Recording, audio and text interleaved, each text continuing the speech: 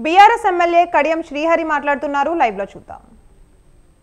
అని మేము చెప్పే ప్రయత్నం చేసినప్పుడు బడ్జెట్లో కేటాయింపులతో సహా ఏ రకంగా ప్రజలను మోసం చేస్తున్నారో చెప్పడానికి ప్రయత్నం చేసినప్పుడు గత ప్రభుత్వం గడిచిన పది సంవత్సరాలుగా ఏ రకమైన ఆర్థిక అభివృద్ధి సాధించిందో వివిధ రంగాల్లో అభివృద్ధి సంక్షేమాన్ని సాధించిందో చెప్పడానికి ప్రయత్నం చేస్తే అది జీర్ణించుకోలేకపోయారు. దాన్ని అడ్డుకోవడానికే గందరగోళం సృష్టించారు.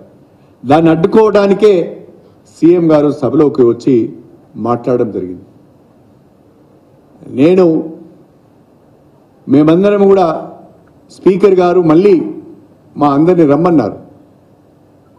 కానీ ఒకటే చెప్పాం.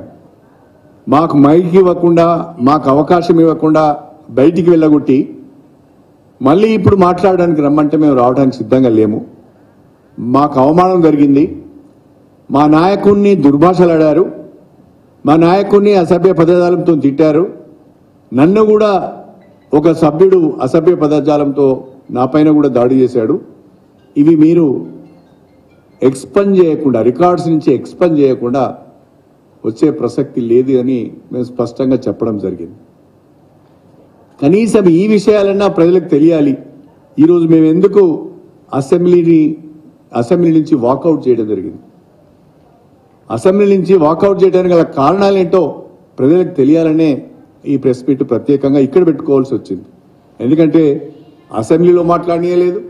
అసెంబ్లీ మీడియా పాయింట్ దగ్గర కూడా మాట్లాడనీయలేదు కాబట్టి ఇక్కడ ప్రెస్ మీట్ చెప్పి ప్రజలకు వాస్తవాలు చెప్పాలనే ఉద్దేశంతో చెప్పాము ఇవాళ వాస్తవంగా బడ్జెట్ పైన చర్చ జరుగుతున్నప్పుడు బడ్జెట్ పైన రిప్లై వచ్చేంత వరకు కూడా ఉండి ప్రజలకు సంబంధించిన అంశాలపైన క్లారిఫికేషన్లు తీసుకోవాల్సిన ఒక పరిస్థితులలో సమయంలో మమ్మలో అసెంబ్లీలో ఉండకుండా చేశారు. కాంగ్రెస్ పార్టీ మేము అసెంబ్లీలో ఉంటే ఈ హామీల పైన నిలదీస్తారేమోనని ప్రజలకు వాస్తవాలు తెలుస్తాయనే ఉద్దేశంతో మాత్రమే వాళ్ళు ఇవాళ సబ్జెక్టును డైవర్ట్ చేసి బడ్జెట్ పైన జరుగుతున్న చర్చను డైవర్ట్ చేసి కాళేశ్వరం మీదకి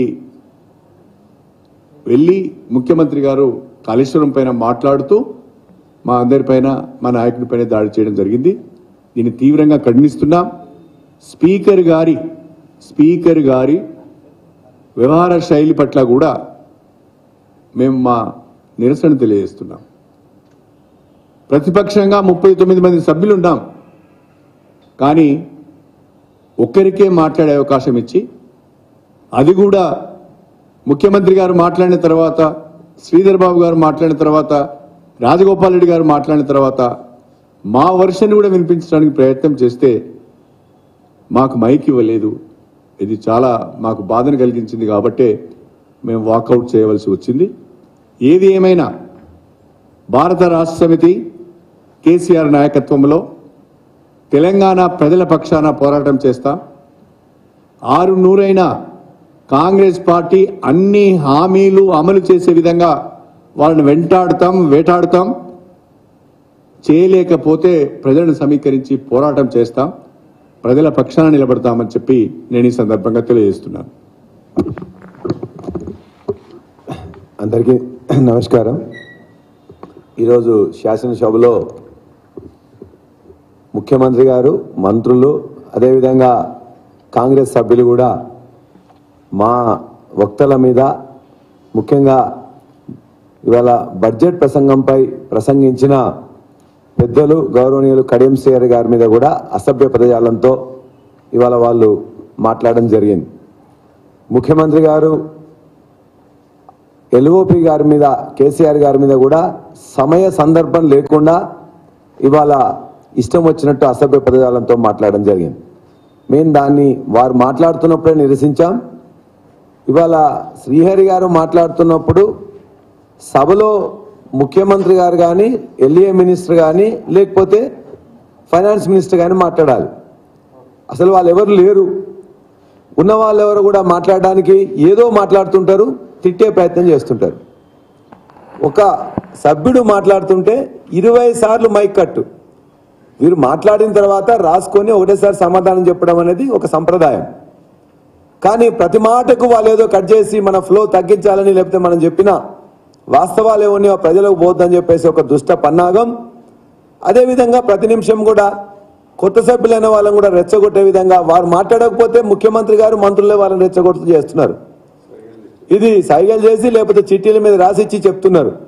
ఈ విధంగా రాజగోపాల్ రెడ్డి గారు మాట్లాడిన దాన్ని మేము అందరం కూడా మాట్లాడి చెప్తే కూడా ఇవాళ ఒక దళిత సీనియర్ నాయకులు నాలుగు దశాబ్దాల సీనియర్ నాయకులు అనేక శాఖలు చేసిన సీఆర్ గారి మీద కూడా ఈ విధంగా మాట్లాడడం ఖండిస్తున్నాం. దాన్ని తొలగించాలని ముందు అక్కడ కూడా చెప్పినాం. ఇవాళ కూడా స్పీకర్ గారిని కోరుతున్నాం. అదేవిధంగా ఎల్ఓపి కేసీఆర్ గారి మీద ముఖ్యమంత్రి గారు మాట్లాడడం. వారు మాట్లాడమే కాదు ఇదే తెలంగాణ భాష అని అంటారు. ఇలా వారు దేని గురించి మాట్లాడుతున్నారు? వారు కేసీఆర్ గారు ముఖ్యమంత్రిగా ఉన్నప్పుడు వారిని ఏ విధంగా దూషించిండ్రు? అసభ్యకరంగా ఏ విధంగా మాట్లాడినరు ముఖ్యమంత్రి కేసీఆర్ గారు ఉన్నప్పుడు కాల్చి చంపాలని చెప్పేసి కూడా మాట్లాడిన వారు రేవంత్ రెడ్డి గారు. ఇవాళ భాష గురించి సంస్కృతి గురించి చరిత్ర గురించి వారు ఏది మాట్లాడితే అదే సంస్కృతి చరిత్ర అని చెప్పి అనుకుంటున్నారు. వారందరూ వారు ఇవాళ ఎవరికున్నారు?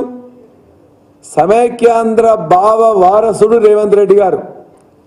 చంద్రబాబు అండ్ కో కంపెనీ ఏదైతే ఉన్నదో వాళ్ళు ఇలా రేవంత్ రెడ్డిని అడ్డు పెట్టుకొని ఇక్కడ తెలంగాణ ఆనవాళ్ళు చేర్పేయడానికి తెలంగాణ అస్తిత్వాన్ని చెడగొట్టడానికి తెలంగాణ రాజముద్రను తెలంగాణ తల్లి తెలంగాణ బోర్డులు అన్నింటినీ చేరిపేయడానికి అని చెప్పి చంద్రబాబు అండ్ కో చెప్పిన విధంగా రేవంత్ రెడ్డి గారు నడుచుకుంటున్నారు. వారు చెప్పినట్టు అదే భాష మాట్లాడుతున్నారు.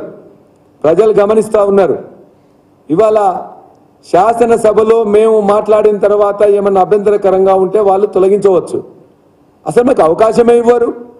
ముప్పై తొమ్మిది మంది సభ్యులుంటే మాకు ముప్పై నిమిషాలంట. ఒక్క సభ్యుడున్న సిపిఐ గారికి వన్ అవర్ ఏడుగురు సభ్యులున్న ఎంఐఎంకి వన్ అండ్ హాఫ్ అవర్ అంటే ఎంత దుర్మార్గంగా వాళ్ళు చేస్తున్నారంటే మాట్లాడనీయడానికి అర్ధ గంట ఇస్తా అని చెప్పేసి అందులో పది పదిహేను కట్లు లేకపోతే పది మంది మంత్రులు సభ్యులు మాట్లాడుతుంటారు.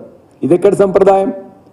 మధ్య మధ్యలో వాళ్ళు ఎక్కడైనా తక్కువ మాట్లాడలేకపోతున్నారని చెప్పంటే ముఖ్యమంత్రి గారు లేచి అసభ్యంగా మాట్లాడుతుంటారు. అది తెలంగాణ భాష కాదు. తెలంగాణ భాష ఏంది చరిత్ర ఏందని సంస్కృతి ఏందని నాలుగు కోట్ల ప్రజలకు తెలుసు. నాలుగు కోట్ల ప్రజలు రేవంత్ రెడ్డి గారు కాంగ్రెస్కి ఓటు వేయలే. One point six one point seven percentage మాత్రమే మాకంటే వారికి ఓట్లు ఎక్కువ వేసిండ్రు మాకేదైతే ముప్పై తొమ్మిది సీట్లు ఇచ్చి ఇంత పర్సంటేజ్ ఓట్లు వేసిన ప్రజలకు ఆకాంక్షలకు అనుగుణంగా మాకిచ్చిన ప్రతిపక్ష పాత్రను ఖచ్చితంగా పోషిస్తాం.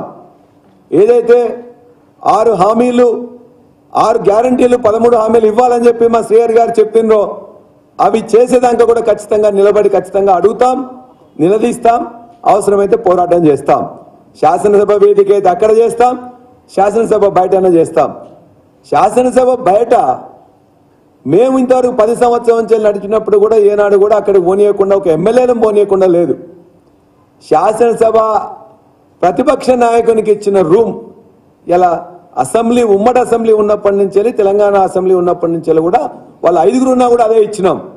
అర్ధరాత్రి దానికి మూసేసి గొడగట్టేసి కలరేసి పడేసింది ఏంటంటే మీకు ఇష్టం అన్నాం కదా అని చెప్పేసి మాకు ఇచ్చినాం అనేది ఇప్పటిదానికి ఇవ్వలే. అంటే ప్రతిపక్ష నాయకునికి ఇచ్చే గదిని ఇవాళ వాళ్ళు మొత్తం కూడా